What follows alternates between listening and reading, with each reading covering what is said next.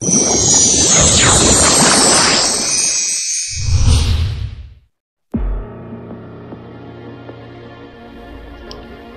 Diyos at pagpapala ay sumainyo. Primo Deo et benedictio tua tecum.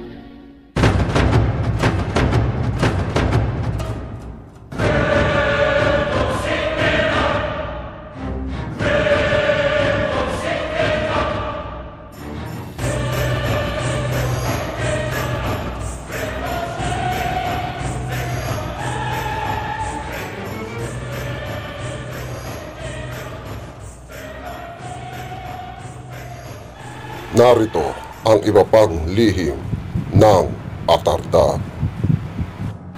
Ang hagdan ng langit, ikalimang kabanata.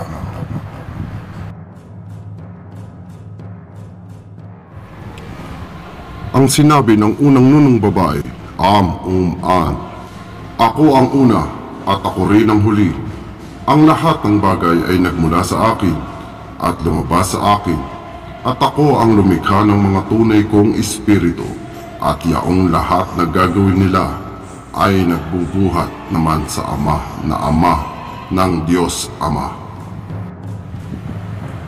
Miti Quidim Orates Ape Tetiocum et Sancte Rim Corpus Melim Oratesum Peteum Elim Ai ay impasing hak siya. Impasing hak siya.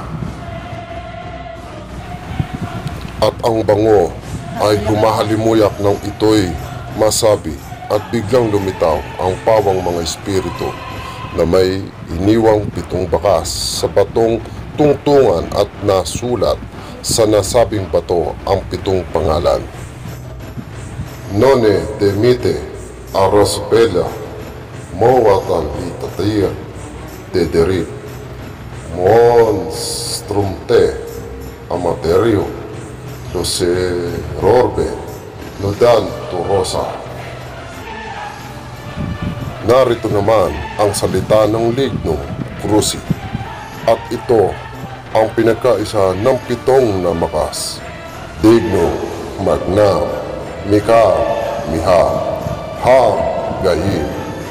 Ang mga salitang ito, ang sabi sa banal na kasulatan, ay nagtataglay ng mga sumusunod. Tagos ang liwanag, maging sa kahoy, sa bakal o sa bato. Lumiliwanag sa kadiliman hanggang sa kailaliman.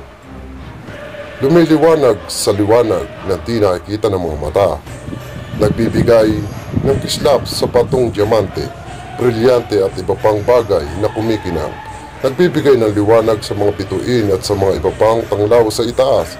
Nagbibigay ng liwanag buhat sa ibabaw hanggang sa kailaliman. Ito ang pinapasukan at nilalabasan ng pitong ilawan. Upang magkaroon at mawala ang liwanag ay ganito ang sasabihin. Saud, Ogna, Tigman. Ito din ang tatlong baitang ng kauna-unahang hagdan. Pangalawang hagdan. Helnag. Ito ang pangalawang katawan ng kauna-unahang nunong babae at sa katawang ito nagbuhat ang pitong nunong lalaki o pitong matanda. Narito ang lihim ng pangalan ng hagdan. Ahegya elehetibus guru topesubdensa gastaba tolsnise letali liburnos amatuederi gens dura. Narito naman ang kanilang pinagkaisahan, hurmat, huknat, hermat. Iyan ang tatlong baitang ng pangalawang hagdan. Ito naman ang aakyat at papanaugan sa nasabing hagdan. Absquanto Ornelis in Violator. Trisin Encanto sub Deo Sudam. Pangatlong hagdan. Hemspag. Ito ang ikatlong katawan ng kauna-unahang nunong babae at sa katawang ito nagbuhat ang sampung kanununuang lalaki. Narito ang lihim ng pangatlong hagdan. Plau susunter, tremenda uhus, subhetstus desit, arum dudato habe, aspian, tedibo, susponte, suppesit, pendentis dei, nobendesi, gracaedo. Ito naman ang kanilang pinagkaisahan. Aktuab Agrante Arante. Narito naman ang pinagkaisahan ng Ha, Helnag, Amumang, Hemspad. Ito ang tatlong baitang ng pangatlong hagdan matapos malikha ang mga nasabing 24 na espiritu ay ayaw kumilala. Sa tatlong nunong babae, ang tatlo ay nagsalita ng ganito, O Batoro, Om Bato, Para. Nang ito'y masabi, ay nangatakot ang kanilang mga nilikha at matagal na oras na hindi nakakibo. At narito naman ang pinagkaisahan ng dalawamput apat na matatanda.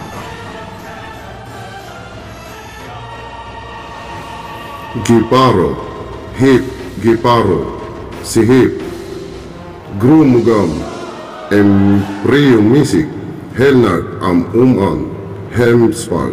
Matapos masabi ito ng 24 na matatanda ay may sumagot na tinig sabay sa biglang pagdidilim ng ugong at nayanig ang kanilang kinatatayuan at ang kanilang mga ilawan ay nangamatay at nawalan ng liwanag. Ang sabi ng tinig ay ganito. Ako ay mata, ako ang Diyos ninyo, at ako ay Espiritong tunay ng kaliwanagan.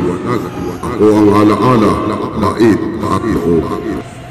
Ang ilan sa mga matatanda ay nagsalita at ang sabi, Horn pa, horn pas, morgong. Sumagot na muli ang tinig at ang wika.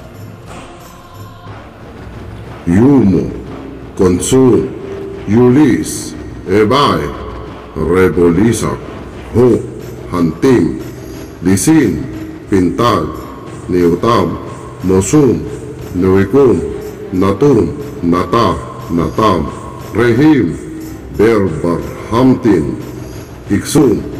Nang ito'y masabi ay biglang nawala ang tinig at biglang nagdiwanag at ang kanilang nakita na nakaukit sa bato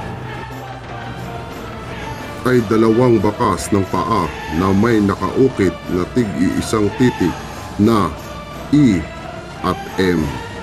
At nang ito'y makita ng unang nunong babae ay nagtaka at ang wika, Di yata't may mataas pa sa akin at sino kaya siya? Sa susunod, ang tatalakayin natin ay ang pagpapakilala ng Atarda sa pitong birhen. At kung kayo'y bago pala dito sa aking munting channel, ay huwag mahiyang mag-subscribe at mag-like at mag-share. At ilagay ang mga komento sa comment section. Para updated ka sa aking mga itatalakay. At sa ibaba nitong video ay puntahan ninyo ang mga unang kabanata na aking na-upload. At doon ninyo masusubaybayan ng buo ang lihim ng amang atanda. At nagpapasalamat ako sa tunay na may akda na si Ace Arroyo Valderrama. Mabuhay ka kapatid.